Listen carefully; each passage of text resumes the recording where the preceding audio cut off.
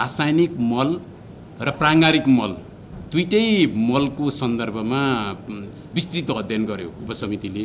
खास गरी रासायनिक मलको आपूर्तिको कुरा रासायनिक मलको प्रयोगको कुरा रासायनिक मलमा दिइएको अनुदान रासायनिक मल सँग निजी क्षेत्रको संलग्नताको कुरा त्यस्तै गरी रासायनिक मलको भण्डारण बफर स्टकको सन्दर्भ त्यस्तै गरेर रासायनिक मल कारखानाको सम्भाव्यताको सन्दर्भमा रासायनिक मलमा जुन अनुदान दिइएको छ त्यो अनुदान को अवस्था के छ त्यसमा पुनरावलोकन गर्नु जरुरी छ कि- छैन।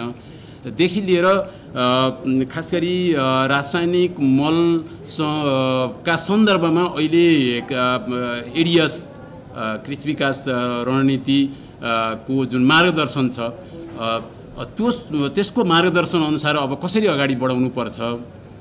र मल सम्बन्धी हाम्रो देशको नीतिमा के परिमार्जन गर्नु जरुरी छ भन्ने सन्दर्भमा हामीले यी विषयहरूमा र प्राङ्गारिक मलको सन्दर्भमा पनि हाम्रो प्राङ्गारिक मलको उत्पादनको अवस्था के छ? प्राङ्गारिक मलको प्रयोगको अवस्था के छ? र प्राङ्गारिक मल